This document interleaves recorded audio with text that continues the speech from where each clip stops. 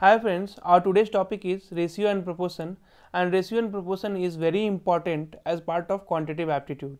So let's understand the concept of ratio and proportion and try to solve few of the questions. So what is the question is if A is to B is 5 is to 7, B is to C is 6 is to 11 then you have to find out the ratio between A, B and C. Okay, suppose if you have given some ratio boys is to girls is 10 is to 15 okay so it does not mean the number of boys is 10 and the number of girls is 15 see this is just the ratio which can be any value. So right see if you multiply 2 on both the sides then it will become 20 and this will become 30 right? So there may be a chance that the number of boys may be 20 and number of girls may be 30 see 10 15 this is a ratio. Again 20 30 can be a ratio again 30 45 can be a ratio. So these are the these are just the ratio. These are not the values right?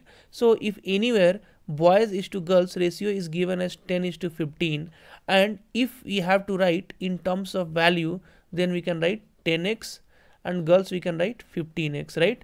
After this there may be a statement given that total number of student total number of students is nothing but 50 so what we can do we can proceed it. So total number of students will be what? Boys and girls.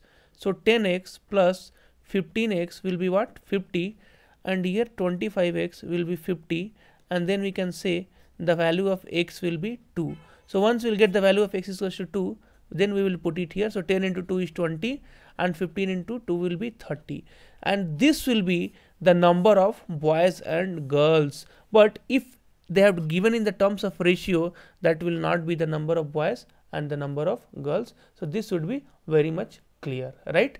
Now, how to find out the ratio of A is to B is to C if A is to B and B is to C is given. So, let us understand here A is to B is equal to 5 is to 7 and B is to C is equal to 6 is to 11.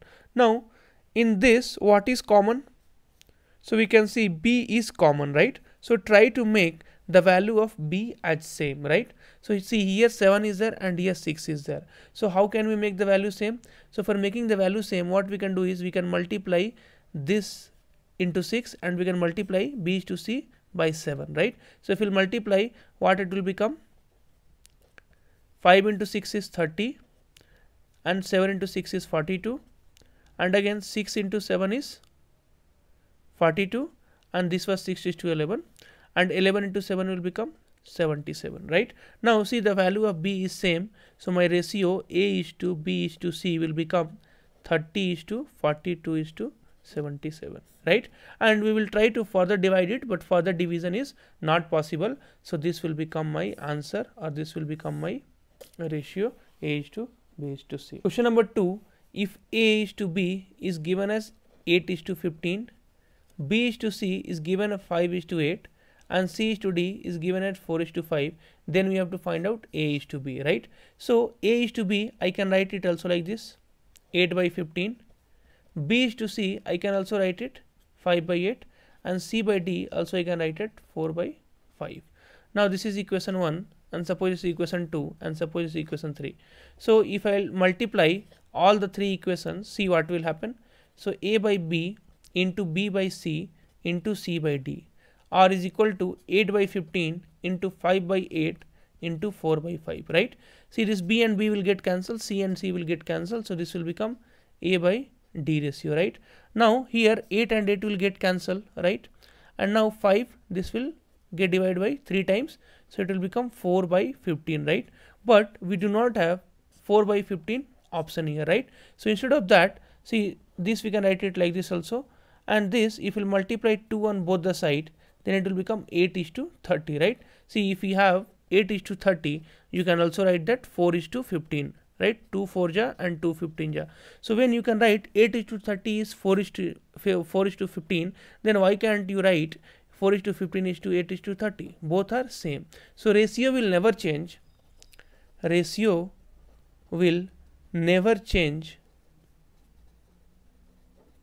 if we multiply or divide if we multiply or divide same thing on both side same thing on both side so here what we are doing 4 is to 15 multiplying to both the side So this will become 8 is to 30. Now see where is the option? So option A will be your answer. Right. Question number 3 is 2A is equals to 3B is equals to 4C and then they are asking is the ratio of A is to B is to C. Right. Suppose instead of these three terms we have only 2A is equals to 3B. Then what will be the ratio between A and B? So how will you find it out? See A by B I will bring this side will be 3 by 2. I can also say A is to B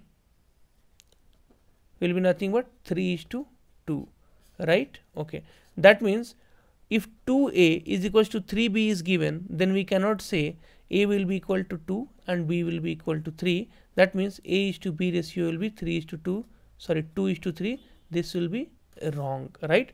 We'll have to bring in a proper form and then only we can say a is to b ratio will be 3 is to 2 so if any equation is given like this what you have to do? You have to take the lcm so lcm of 2 3 and 4 will be what?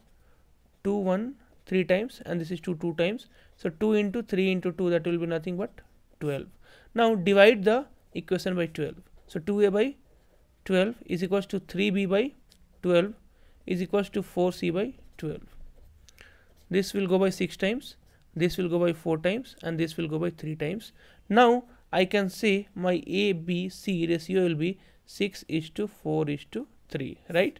Directly we cannot write the ratio from here is 2 is to 3 is to 4 that will become wrong. We have to take the LCM and then divide it and that time we will be getting the ratio. So my answer will be 6 is to 4 is to 3 which is nothing but C. Thanks for watching the video